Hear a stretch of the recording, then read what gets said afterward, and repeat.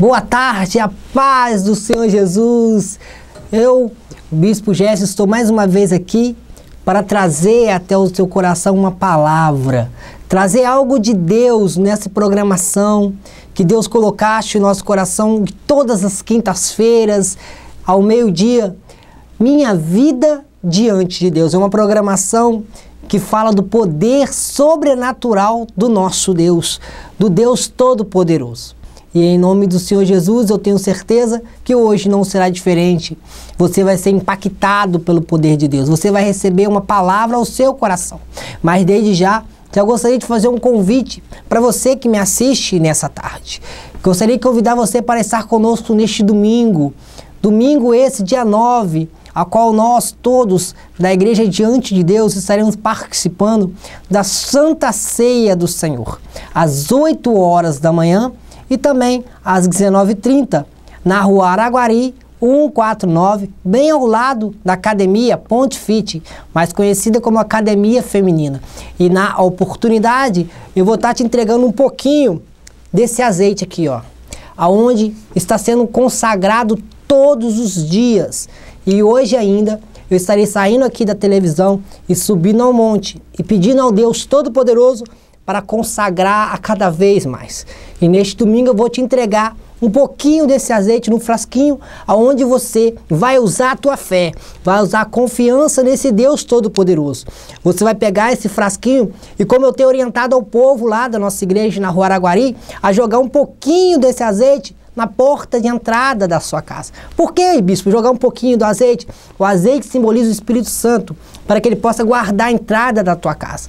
Pode alguém, porventura, te invejar, pode alguém porventura desejar um mal para você. E em nome do Senhor Jesus, tendo um anjo de guarda ali protegendo, o anjo do Senhor vai proteger a tua casa. Isso você não vai pagar nada por esse azeite.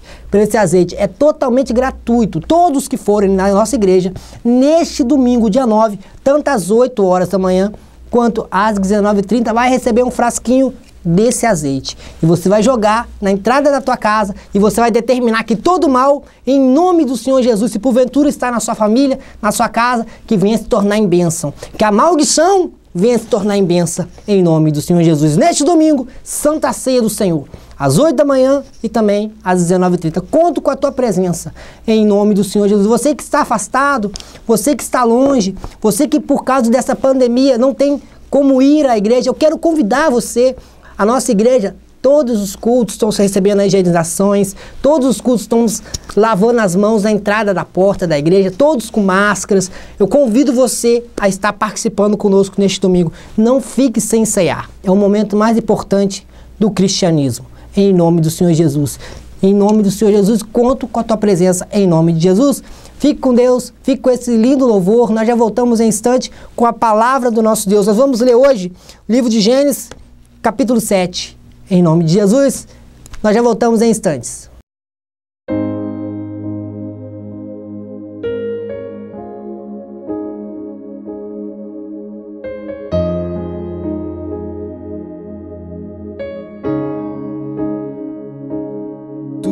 Bem-vindo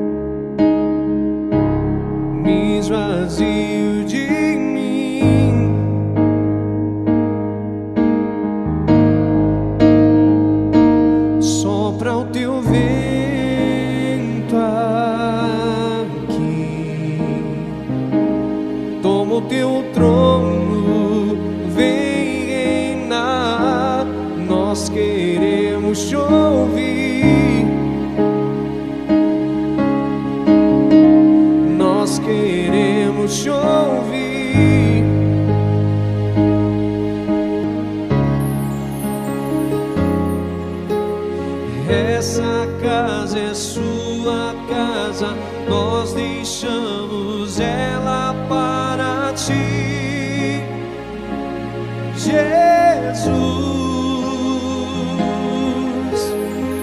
Essa casa é sua casa, nós deixamos ela para ti,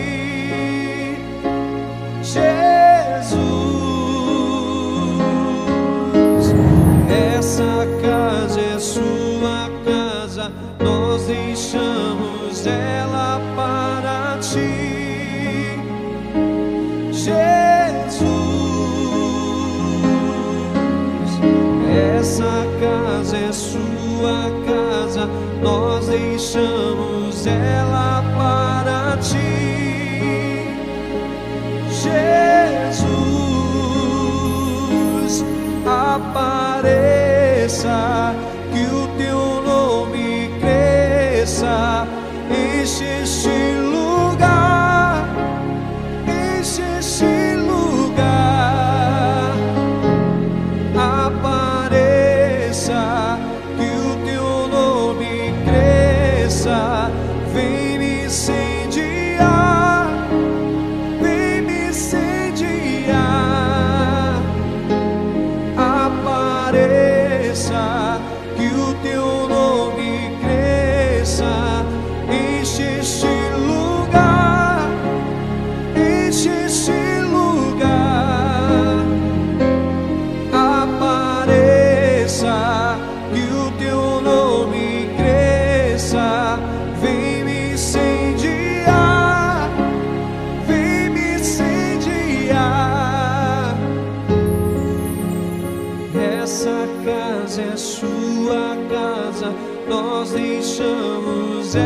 ela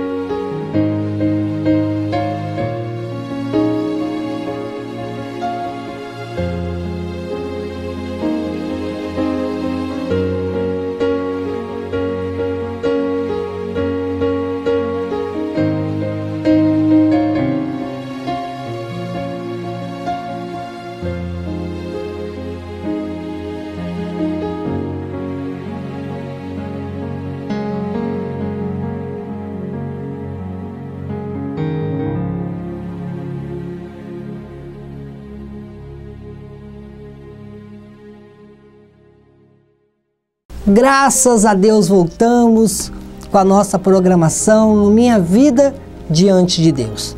Uma programação voltada ao seu coração, uma programação que vai falar de encontro à necessidade que você possa estar passando, pois eu tenho certeza que o nosso Deus vai falar contigo rica e maravilhosamente. Nós vamos ler o livro de Gênesis, porém, não será o 7 neste momento. Vamos ler o capítulo 6, versículo 7. Gênesis capítulo 6, versículo 7. Se você ainda não pegou aí, se você estava no capítulo 7, volta uma folha, Gênesis capítulo 6, versículo 7. Mas antes, vamos a uma breve oração em nome do Senhor Jesus. Soberano Deus de Israel, eu peço ao Senhor, meu Pai, que venha falar conosco através da tua palavra, meu Pai. Espírito Santo, que não venha ser eu, mas sim o Senhor através de mim. Pai querido e Pai amado, que eu diminua e que o Senhor cresça maravilhosamente. Pai, fala no coração do teu povo, não o que teu povo quer ouvir, mas sim o que o Senhor quer falar para conosco. Por isso eu entrego tudo e todos em tuas mãos. Em nome do Pai, do Filho e do Espírito Santo. Amém? E graças a Deus. Graças a Deus. Vamos à palavra. Gênesis capítulo 6, versículo 7. Em nome do Senhor Jesus. Assim disse: Disse o Senhor: Farei desaparecer da face da terra o homem que criei, o homem e o animal, os répteis e as aves do céu, porque me arrependo de o haver feito. Porém, Noé achou graça diante do Senhor. Eis a história de Noé. Noé era um homem justo e íntegro entre os que contemporâneos. Noé estava com Deus. Amém? Deus queria acabar com a humanidade. Bicho, por que Deus queria acabar com a humanidade? Por causa do que estava acontecendo naquele país, naquela situação, naquele estado. O que estava acontecendo naquele local eram muitas coisas erradas, muitas coisas que não provia de Deus. Deus estava revoltado com a situação que estava acontecendo naquelas cidades que estavam tendo muitas coisas que não provia de Deus. Me falta até palavra para falar para não ofender com a palavra que eu posso usar. Por isso que eu me limito a falar com coisas que não provia de Deus, se é que você me entende. Mas vamos à leitura. No 10. Gerou três filhos, Sem, Cã e Gessé. A terra estava corrompida à vista de Deus e cheia de violência. Viu Deus a terra, e eis que estava corrompida, porque todo ser vivente havia corrompido seu caminho na terra. Então disse Deus a Noé: Resolvi dar cabo de toda a carne, porque a terra está cheia da violência dos homens. Eis que o farei parecer, ou perecer, aliás, juntamente com a terra. Fazer uma arca de tábua de ciprestes. Nela fará compartimentos e a calafetas, o calafetarás com abertura, aber, com betume, perdão, por dentro e por fora. Amém? Aqui Deus está falando para Noé construir uma arca. Eu vou ler aqui de novo capítulo 14, aliás, o versículo 14. Faze uma arca de tábua de ciprestes, de tábuas de ciprestes. Nelas fará compartimentos e a calafetarás com betume por dentro e por fora. Deste modo, a farás de, de 300 covados.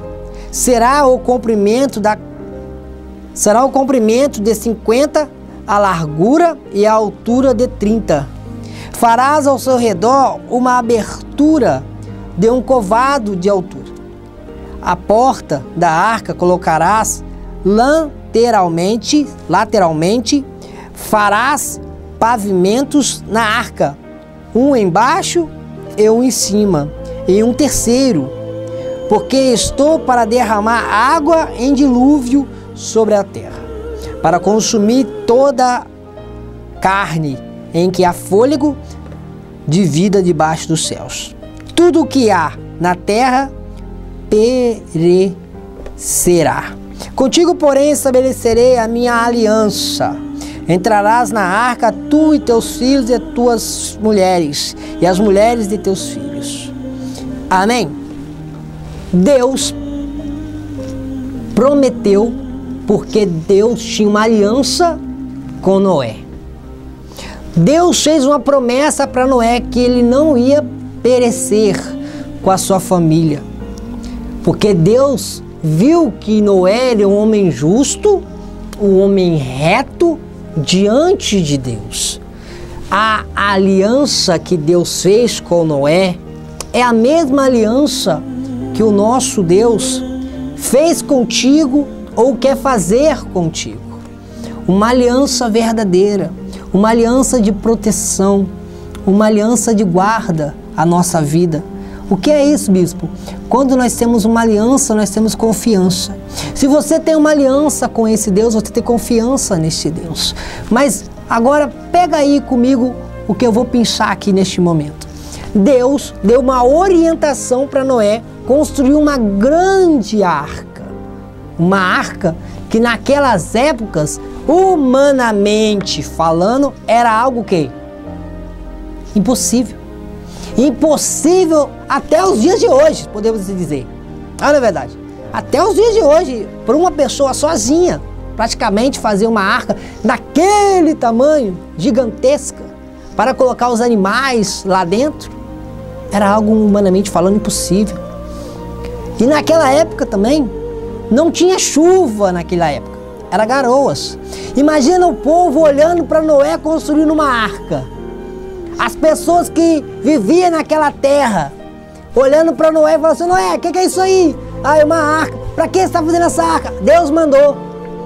Imagina só o povo ia falar o quê? Ah lá, o Noé ficou doido, Noé ficou perturbado, é ou não é? Noé, a quem, quem disse, ah, Noé ficou maluco? É a mesma coisa hoje. Se você for parar para analisar, a mesma coisa hoje. No começo do programa eu falei que eu ia entregar para todos um pouquinho desse azeite. É na é verdade. No domingo, dia 9, agora, Santa Ceia, vou entregar um pouquinho. E eu falei que pela fé você vai jogar um pouquinho do azeite na entrada da sua casa. Aquele que vê você fazer isso e não for da sua mesma fé, vai falar que você está o quê? Que você está doido. Ah lá, tá que pede azeite. Ah lá, para que fazer isso? Isso você vai fazer porque você está obedecendo a voz de Deus. Não é a voz do bispo Jefferson. Longe de mim. É a voz de Deus. Deus falou comigo no meu coração para fazer isso, para fazer isso, para que você venha a ser o quê? Protegido por Deus. É uma proteção pela fé. A fé é a certeza, a convicção das coisas que nós não vemos, mas cremos, confiamos, acreditamos. Quando nós temos uma aliança com Deus, nós temos que usar essa nossa fé. Noé acreditou em Deus. Deus falou que ia mandar o dilúvio sobre aquela terra. Ninguém mais acreditou em Noé. Ninguém ouviu Noé. Mas Noé ouviu a Deus. Se você ouviu a Deus, se você está ouvindo a Deus neste momento, não perca essa oportunidade. Não perca essa oportunidade de estar lá na igreja buscando a Deus, adorando a Deus, protegendo a sua casa, orando a este Deus Todo-Poderoso. Hoje em dia, a arca da aliança é a nossa igreja, é o templo. Onde nós estamos, nós estamos ali protegidos pela mão poderosa deste Deus. É ou não é verdade? Então, você tem que se dispor a ouvir a voz de Deus.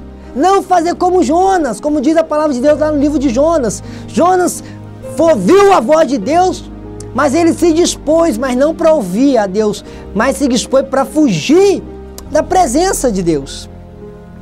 Não seja esse homem, não seja essa mulher que está fugindo da presença de Deus. Não abra mão, não abra mão de estar na casa de Deus neste domingo, Santa Ceia. Não abra mão de estar buscando a este Deus.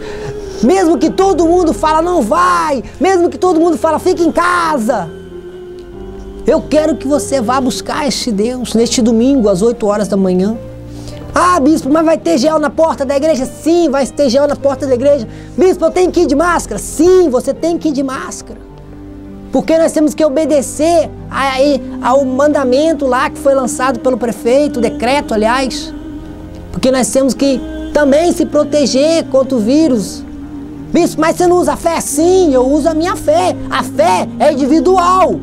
Cada um tem a sua. Só que por decreto, nós temos que obedecer. A Bíblia diz: é melhor obedecer do que sacrificar. É ou não é verdade? Sim ou não? Como diz o meu amigo. Então vamos obedecer a voz de Deus, mas em tudo. Porque muitas pessoas, eu não que eu estou generalizando porque é o que eu estou vendo. Muitas pessoas vão no mercado, muitas pessoas vão nos bancos, mas quando é para ir na casa de Deus, ah, não vou porque tem um vírus. Aí fica pode em vários lugares, mas na igreja não pode. Na igreja é um hospital, se você não sabe. É um hospital espiritual. Talvez você tenha muito tempo que não está indo na igreja.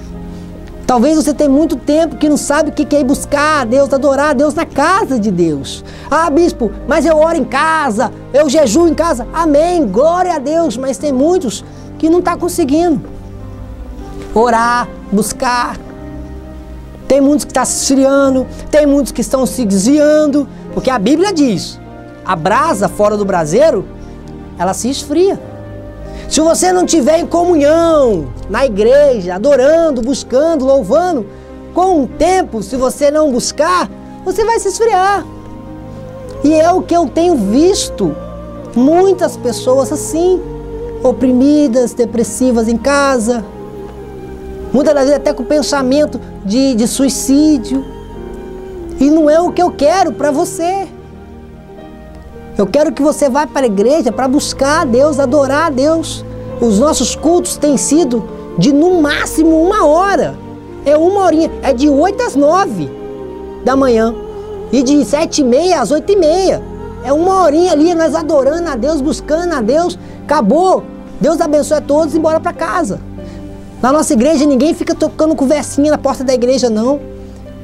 Ninguém fica jogando conversa fora, não. Até porque nós estamos ali para ouvir a voz de Deus. Quando a gente vai na casa de Deus, é para ouvir a voz de Deus. Acabou cada um para sua casa. Quando tem momento de comunhão, sim, vamos ter, bispo. Vamos ter em nome de Jesus. Só que não é o momento oportuno para tal coisa. E eu tenho certeza que, do mesmo jeito que Deus salvou a família de Noé, Ele vai salvar a sua família também. Ele vai abençoar a sua casa também. Ele vai livrar a sua casa desse vírus em nome de Jesus. Ele vai livrar a sua casa do olho da inveja em nome do Senhor Jesus, dos olhos maus. Crê somente e verás a glória de Deus na sua vida. Em nome do Senhor Jesus. Eu fico revoltado por saber que tem pessoas que, que vai para outro lugar, mas não quer ir na igreja. Eu fico revoltado. Mas eu sei que nós temos que vencer através da oração. A oração que, que quebra o jugo, né? Então nós vamos orar. E eu tenho certeza que a mão poderosa de Deus vai tocar no seu coração. Você que é membro da Igreja Diante de Deus, eu quero convidar você mais uma vez. Não fique sem cear neste domingo, às 8 horas da manhã ou também às 19h30. Na nossa sede regional, na Rua Araguari, 149, bem ao lado da Academia Ponte Fit em nome do Senhor Jesus. Amém? Deus abençoou a vida de Noé. E Noé foi salvo para a glória de Deus. Eu tenho certeza que Deus vai salvar sua família, sua casa. Creia nisso. Em nome de Jesus. Amém? Vamos ao momento da oração, mas antes, fique com esse lindo louvor. Nós já voltamos em instante. Em nome de Jesus.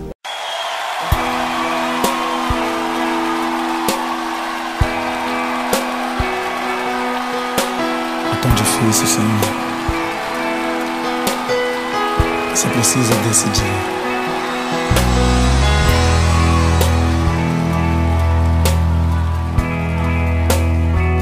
Quando chega o momento da decisão, Senhor, como escolher? Quando ouvi o filho perguntar e o cordeiro onde está? seu coração sangrou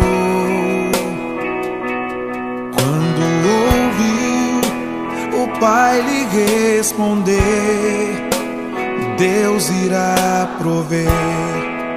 Seu coração temeu e lado a lado em silêncio os dois choraram ao verem chegando o lugar da decisão. Um pedido assim que parte o coração. Escolher entre a fé e a razão? Quando dizer não é opção e a fé te pede um sim. Quando é preciso enfrentar e a alma quer fugir, é difícil ser como Abraão e um filho entregar sem Isaac deitar-se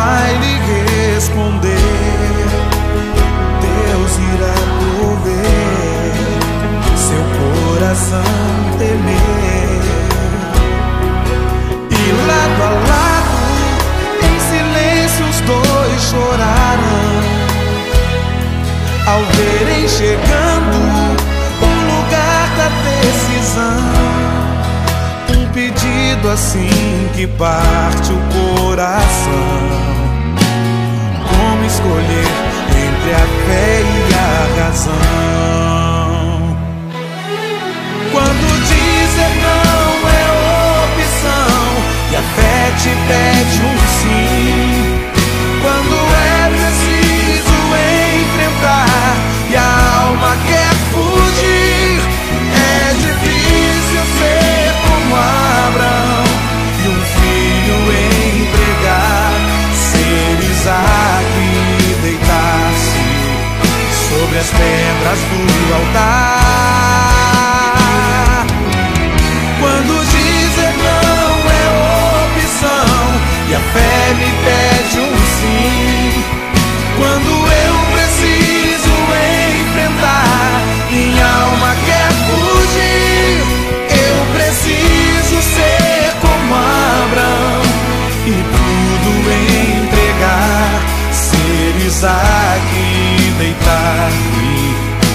Sobre as pedras. É preciso coragem pra subir. É preciso ter fé pra aceitar. É preciso ter força e dizer sim. E deitar-se sobre as pedras do altar.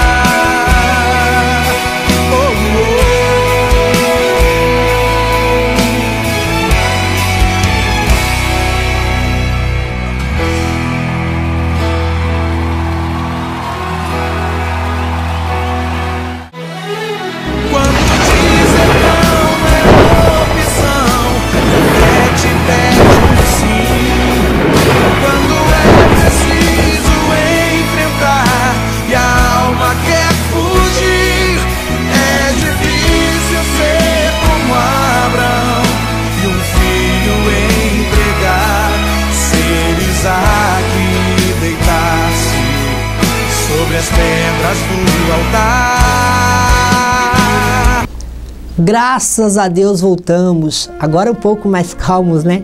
Porque a gente se revolta, né, pessoal? Você sabe como é que é.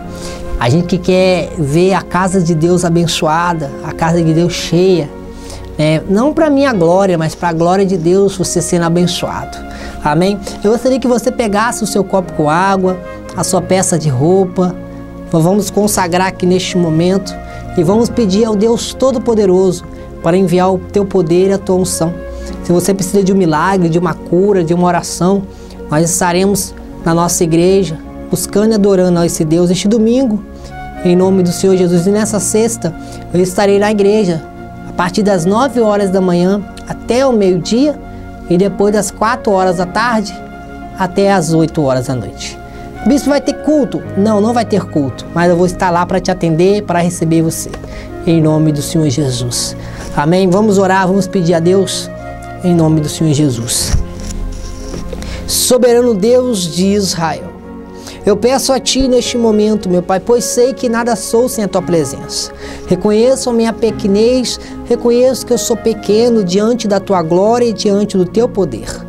Mas mesmo assim, Senhor, eu me coloco à Tua presença para pedir, meu Pai, não somente por mim, mas por todos quanto me assistem neste momento, que tiraram destes momentos para estar conosco, ouvindo a tua palavra e buscando a tua face. Espírito Santo, eu te peço que o Senhor venha curar, que o Senhor venha libertar, que o Senhor venha transformar estes que se encontram, meu Pai, desanimados, tristes, abatidos, meu Pai, que se encontra afastado, meu Pai, longe da tua casa.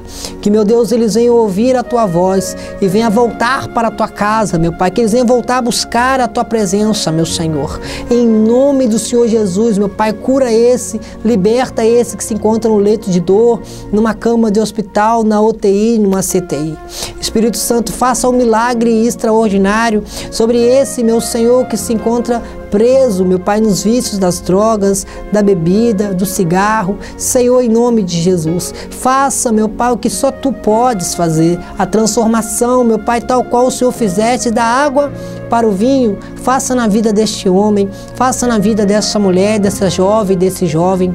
E em nome do Senhor Jesus, meu Pai, cura essa criança, meu Senhor, que tem ficado com insônia nas madrugadas, meu Pai, em nome do Senhor Jesus, tira todo espírito perturbador, tira todo espírito maldito, meu Pai, que possa estar perturbando as crianças, meu Pai, do nosso país, da nossa cidade de Nanuque. Em nome do Senhor Jesus, meu Pai, consagra essa peça de roupa. Quando esse homem ou essa mulher vestir essa roupa, Senhor, que eles iam ser curados pelo teu poder, que eles iam ser curados pelas tuas mãos, meu Pai, em nome do Senhor Jesus. Consagra também, Senhor, a esse, a esse copo com água. Quando, Pai, nós viemos participar desse copo com água, meu Senhor, nós viemos receber força, vigor, para que neste domingo, meu Senhor, nós vamos poder estar na tua casa, te buscando e te adorando, meu Pai, em nome do Senhor Jesus. É o que eu te peço e desde já te agradeço. Em nome do Pai, do Filho e do Espírito Santo. Amém. E graças a Deus. Participe agora junto conosco nesse copo com água abençoado e consagrado em nome de Jesus.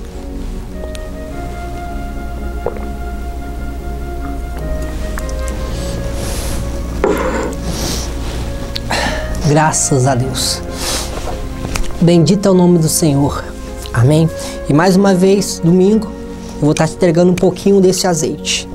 Às 8 horas da manhã e também às 19h30. Conto com a tua presença neste domingo de Santa Ceia. Em nome do Senhor Jesus, fique com Deus. Até a próxima. Em nome de Jesus.